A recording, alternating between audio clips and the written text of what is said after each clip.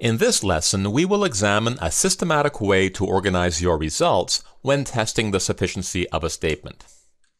Now, in this question, we are told that x is an integer, and we must determine whether 4 to the power of x is less than 3 to the power of x plus 1.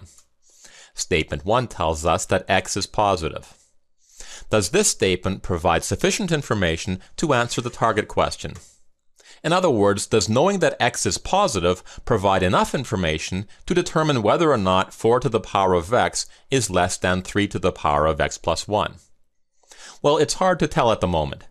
Let's try plugging in some numbers to see if this reveals anything. We'll use a table to help organize our results. First, we'll choose some values for x that satisfy the condition in statement 1 that says x must be positive.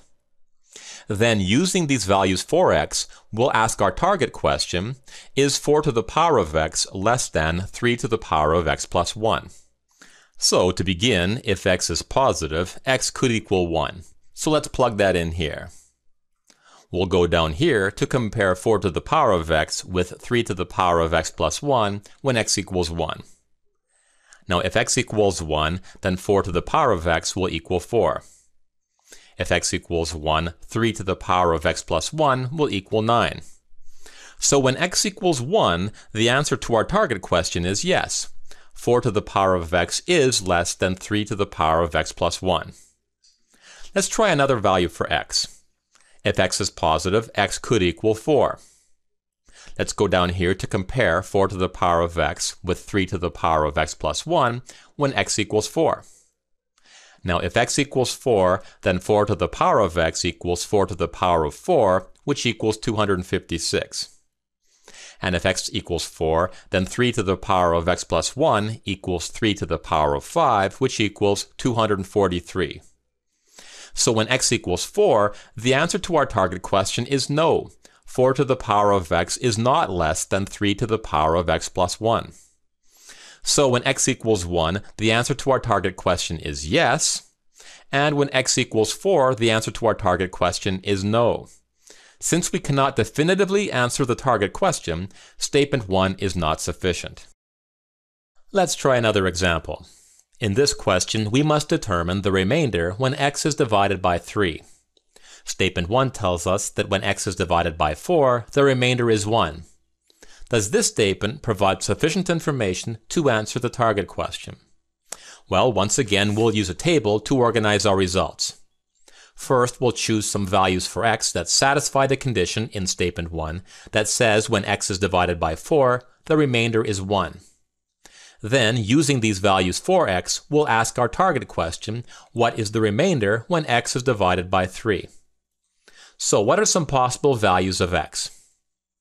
Well, if we get a remainder of 1 when x is divided by 4, then x could equal 5. Now we'll ask the target question. What is the remainder when x is divided by 3? Well, 5 divided by 3 is equal to 1 with remainder 2, so the answer is 2. Okay, what are some other possible values for x? Well, if we get a remainder of 1 when x is divided by 4, then x could also equal 9. Now we'll ask the target question. What is the remainder when x is divided by 3? Well, when 9 is divided by 3, we get 3 with remainder 0. So the answer here is 0. So when x equals 5, the answer to the target question is 2. And when x equals 9, the answer to the target question is 0. Since we cannot definitively answer the target question, statement 1 is not sufficient. Now let's look at one more example. The target question here asks, is x less than x squared? And statement 1 tells us that x is positive. Does this statement provide enough information to answer the target question? We'll use a table to organize our results. First, we'll choose some values for x that satisfy the condition in statement 1 that says x is positive. Then using these values for x, we'll ask our target question, is x less than x squared? So, if x is positive, x could equal 2. Let's go down here to compare x and x squared when x equals 2. When x equals 2, x squared equals 4. So when x equals 2, the answer to our target question is yes. x is less than x squared. Now let's try another value for x. If x is positive, then x could also equal 0.5. When x equals 0.5, x squared will equal 0.25. So when x equals 0.5, the answer to our target question is no. x is not less than x squared. So x equals 2 and x equals 0.5 both satisfy the condition in statement 1 that says x must be positive. However, in one case, the answer to our target question is yes, and in the other case, the answer to our target question is no. Since we cannot definitively answer the target question, statement 1 is not sufficient. Now you may have noticed that in all three examples, the statement was insufficient. You will find that the table method works best for statements that you suspect might be insufficient.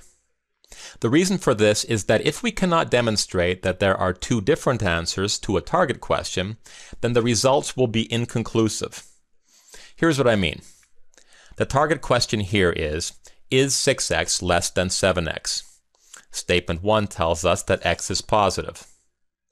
Using a table to organize our results, we'll choose values of x that satisfy the condition in statement 1, and then we'll ask our target question, is 6x less than 7x? So if x is positive, then x could equal 2. If x equals 2, then the answer to our target question is yes, 6x is less than 7x. Let's try another value for x. If x is positive, then x could equal 5. If x equals 5, the answer to our target question is yes, 6x is less than 7x. When x equals 9, the answer to our target question is yes. When x equals 33, the answer is yes. And when x equals 100, the answer to our target question is still yes. So what can we conclude here? Using the results from our table, can we conclude with certainty that statement 1 is sufficient? It's hard to say. The table results seem to suggest that if x is positive, then 6x will always be less than 7x but perhaps we have simply neglected to try a value for x that would yield a different answer to the target question. Let's compare these results to the results in the last question. In this example, we showed that when x equals 2, the answer to the target question is yes, and when x equals 0.5, the answer to our target question is no. Since we have two conflicting answers to our target question, we can be certain that statement 1 is insufficient.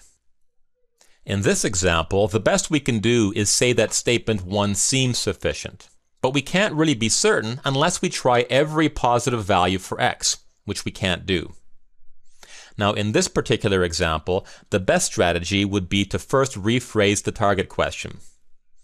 If we take the target question and subtract 6x from both sides, we get a new target question.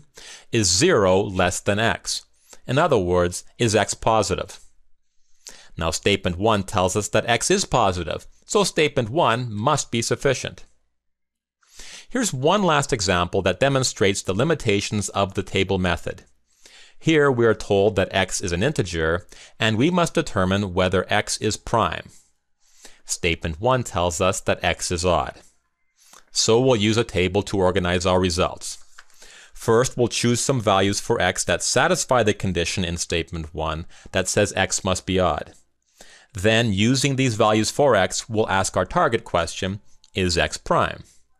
So, if x is odd, x could equal 3. If x equals 3, the answer to our target question is yes, x is prime.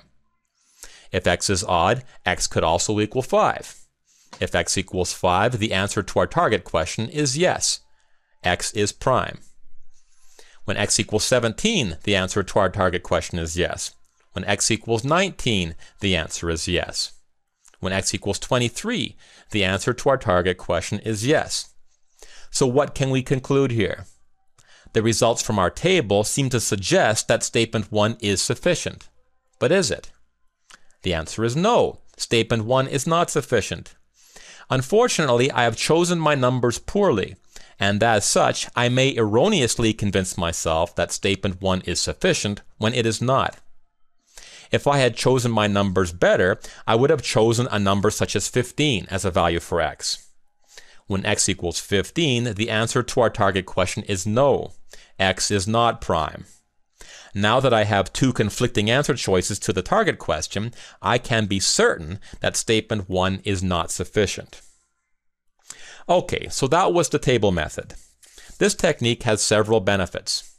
First, it can help organize your thoughts. It can clearly demonstrate the insufficiency of a statement, and it may hint at the sufficiency of a statement. The primary drawback here is that the results are inconclusive for statements that are sufficient. As such, the table method is best applied when you suspect that a statement may be insufficient.